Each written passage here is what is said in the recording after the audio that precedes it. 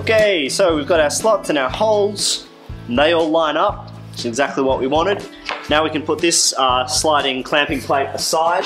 And what we want to do is create some small recesses on the underside of these holes so that our T-bolts, which are included in your kit, sit flush on the underside rather than sticking out because they, they have about 1.5 mil of metal on the head of that bolt.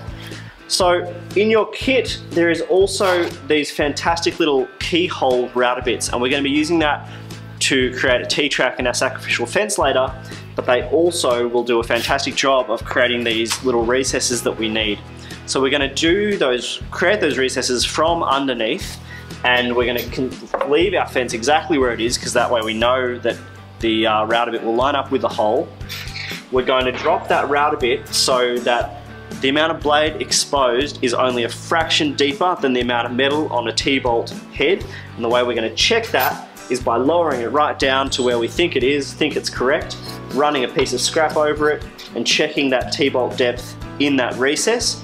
Once the T-bolt is sitting just below the surface, we are going to hold this over that router bit so that the center of the router bit lines up with our hole, making sure that we've got all of our markings facing up. So we put it down and all we need to do is shuffle a little to the left and a little to the right. Usually I find if I can line up as it's spinning you can usually see the center of that router bit and I can, you start with the center of the router bit in the center of the hole and then you take the center of the router bit to the left of the hole and the right of the hole and that will be enough of a rebate. So you'll see me doing this in action. It's uh, pretty straightforward. I'm going to start by setting the depth of that router bit and then I will do those rebates and you'll see what I'm talking about hopefully.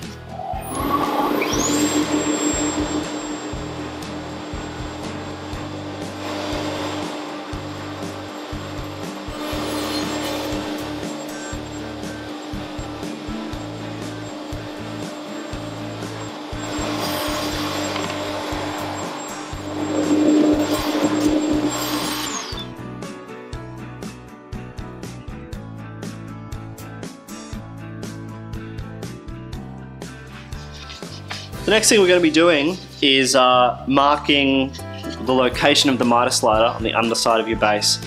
We'll need to do this carefully so it can be set the correct distance from the blade or uh, the center of that router bit.